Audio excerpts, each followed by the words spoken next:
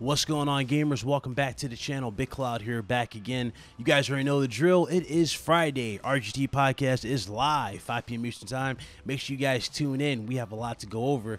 And definitely, one of the topics is definitely the game that is the topic of today's video, and that is The Last of Us Part 2. So, this game came out at midnight. I played it from midnight to four o'clock in the morning.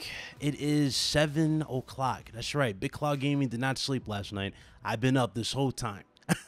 so this is not a review. This is more of a first impressions on the game and how I feel about the uh, the game so far, based on what I experienced. And I want to be as uh, you know honest as forthcoming as I can possibly be for this video. Obviously, we have a lot more to talk about, so we're going to go into that on the on the podcast. But anyway, let's get into this, man. First party talent, people, it is definitely important, and you guys see why with The Last of Us Part 2. This game has so much traction on social media, it's incredible. I've seen uh, Twitch, you know, I've seen a lot of big Twitch channels playing this game. And keep in mind, these Twitch channels are all about Call of Duty type, you know what I'm saying? But they are streaming this game. This game was like, it, this game was trending everywhere, you know, in terms of being played. But aside from the accolades. Let's get into this. I know, again, it's about the experience. The Last of Us Part 2 is a mixed bag. I'm to be honest with you. It is a mixed bag of emotions. When you play this game from start into wherever the hell you stop, you're to feel a certain way. You're to feel certain ways going through the game. You're to feel a sense of dread, a sense of anger. You're to feel a sense of just fear, uneasiness. I'm talking the the emotions were going everywhere when I was playing through this game. The new clickers are adding a new level of fear and intensity to this game, like unlike on uh, unlike any other really. The first clickers, again, the first one you guys remember, they were kind of just um, they weren't that you know they weren't that uh, scary after you played the game a few times. You know you know how to take them out, you know how to deal with them.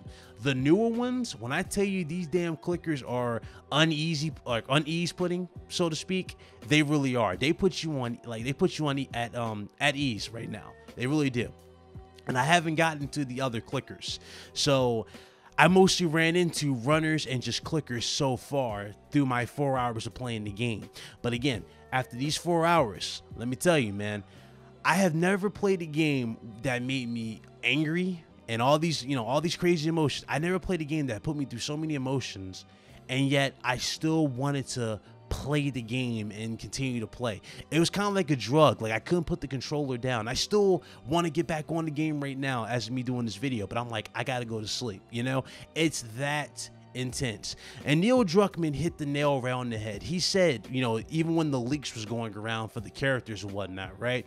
He said that, you know, experiencing this game is five times different than actually just reading it. And let me tell you, he is on the money. He is not kidding. You have to experience this game to truly understand why everybody is talking about this game. There are a lot of people who are talking about this game right now on social media that didn't get no sleep last night, like myself.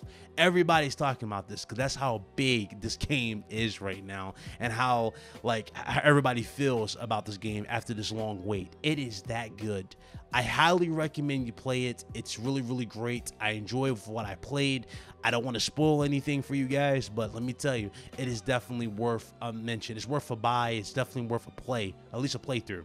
Definitely go ahead and do that. You're not going to be disappointed with The Last of Us Part 2.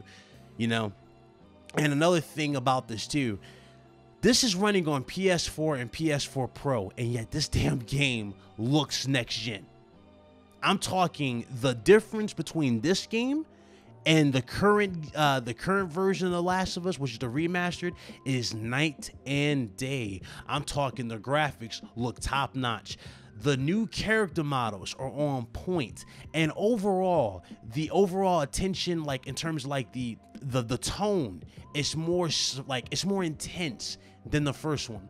The first one, you kind of had like this light-hearted tone, uh, tone, right, amidst all the chaos type moments. But you had this light-hearted tone, and Last of Us Part 2, that is non-existent. There is like there's no sense of chill really it feels like in this game. You always have this fear of, of turning around and looking behind your back type of thing. That's what it feels like. That's the tone they set for this game. And let me tell you, it, it really does suit this game really, really well. Hell, there was a point in this game that reminded me of Days Gone. I'm not gonna spoil it, but it reminded me of Days Gone in terms of just how like adrenaline pumping it was. You know what I'm saying?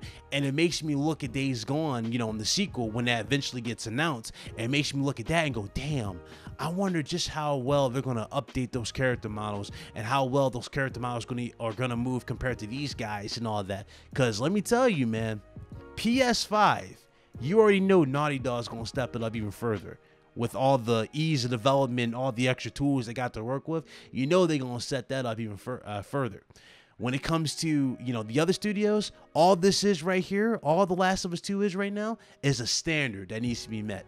And that's why I love even further. That's raising the standards and giving more. It feels like they're in competition and, and within their own studios, right? To outdo one another. That's how you get better looking games. You keep raising the bar and someone else raises it and you keep going from there and you just keep getting these amazing experiences. Last Us Part 2 right now is that freaking amazing. I am ecstatic. I can't wait to continue to play this. For those you interested in seeing me playing this, I already did the first part. Um, it's in the it's, it's in the description below. It's in it's on the Twitch channel. Go ahead, go check that out. Make sure you give me a follow there. We're gonna be dropping. Um, we're gonna be jumping right back on that after the RGT podcast. Okay, so just want to throw that out there. I can't wait to get back on here and finish playing uh, some more of this. This game is freaking awesome. I love it. I love every mo- moment of it.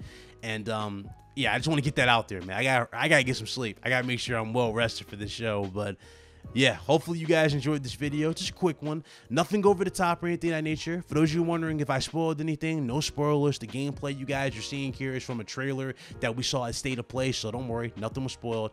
Hopefully you guys enjoy. I'll see you guys later on, all right? Until next time, this is Bit Cloud Gaming. You guys be blessed. Y'all be easy. I'm signing out. Later.